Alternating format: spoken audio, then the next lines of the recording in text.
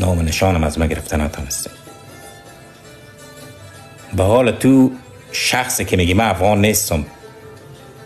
توی بدبخت اگه بفهمی در زمان خان پاسپورتت معتبر بود در تمام دنیا.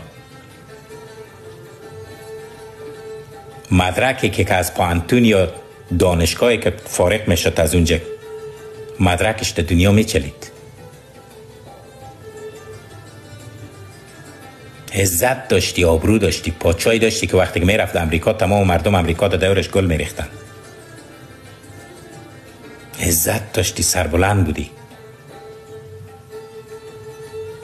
در موترای شخصی ملکه که خود خدای غرب داشت خدای دنیا داشت الیزابت میامد در موتر خود میشان دوره پیشی می‌گفت افغان پیشی اگه بیشینی هم باز مزه کتش نه؟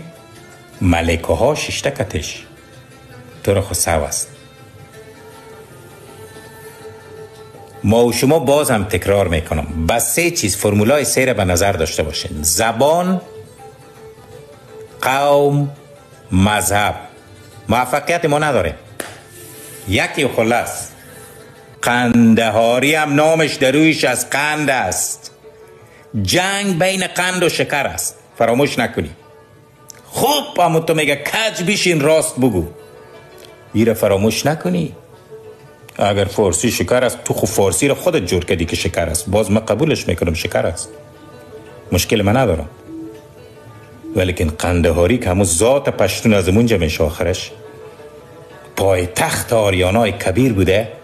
ایره فراموش نکنی که کندهارا خودش از خود یک کشور بود یک امپراتور از خود بود.